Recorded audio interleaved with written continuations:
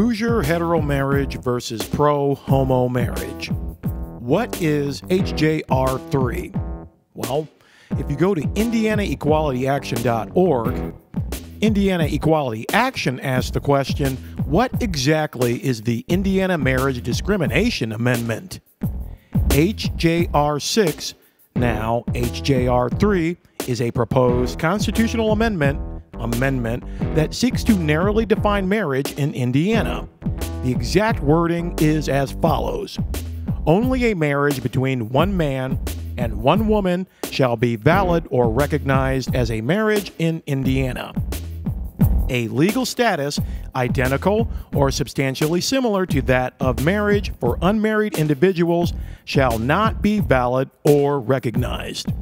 So, why is the passage of HJR 3, Indiana House Joint Resolution 3, considered a victory for proponents of same sex marriage? Let's go to the Journal Gazette, February 18th, 2014. Headline Modified Gay Marriage Ban Okayed. Foes claim win as earliest public vote, now 16, by Nikki Kelly. House Joint Resolution 3 defines marriage as between one man and one woman. Indiana law already says that, but some believed constitutional protection was needed. The House, earlier this session, removed the second sentence, banning anything substantially similar to marriage, including civil unions. If the language had remained, Hoosiers could have voted on the measure in November.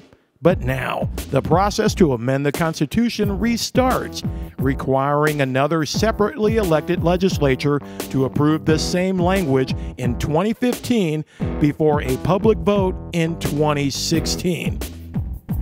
Now, let's go to the New York Times, February 17, 2014.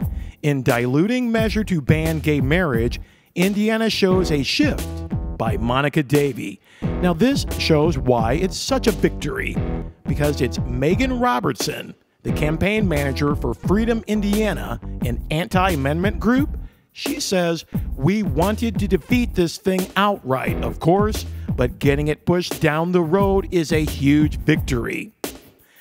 Megan Robertson campaign manager for Freedom Indiana, an anti amendment group supported by business interests like Eli Lilly and Company and Cummins Incorporated.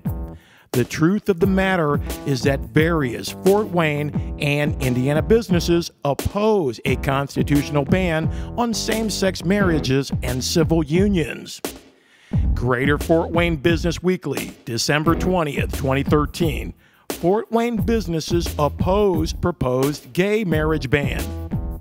Four Fort Wayne businesses are part of an Employers for Freedom group launched by a statewide campaign to defeat a proposed constitutional amendment that would prohibit same sex marriages and civil unions in Indiana. Freedom Indiana announced the formation of the group, which includes six other businesses from Indianapolis and Bloomington. The campaign was organized earlier with support from Eli Lilly and Company and Cummins Incorporated. The Fort Wayne businesses that join the Employers for Freedom group are Fort Wayne Metals, Boyden and Youngblood Advertising, Leasty Media, and One Lucky Guitar, The Good Ones Clothing.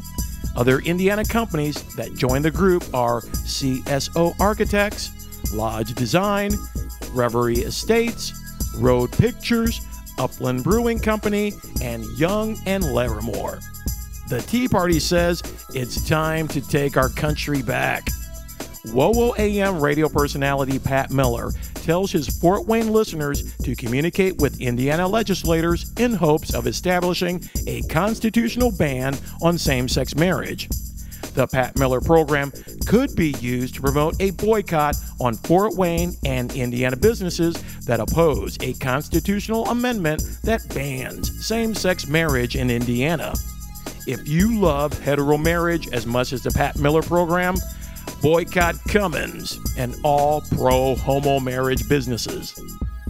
As this matter plays out through entertainment news media, it appears that disconnecting business interests from Indiana Republican politics over same sex marriage results in Republican on Republican attacks. Let's go back to the Journal Gazette, February 18th. Senator Mike Delph, the Republican from Carmel, says if we can't get the marriage amendment to the public now, I'm not convinced we ever will. Delph also blamed Senate President pro tem David Long, the Republican from Fort Wayne, for controlling the process in such a way that the second sentence wasn't reinserted.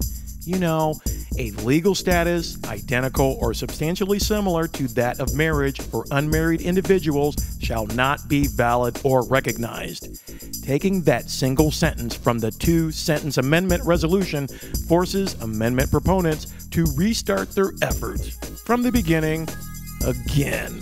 We see what happened with the changes as a betrayal of the voters, said Chris Plante, Regional Director for the National Organization for Marriage, which favors a ban. Some lawmakers who pressed to revise the measure, forcing a delay in a statewide vote, should now expect to pay a political price, he told the New York Times. Republicans who did this, Mr. Plante said, will most certainly be targeted.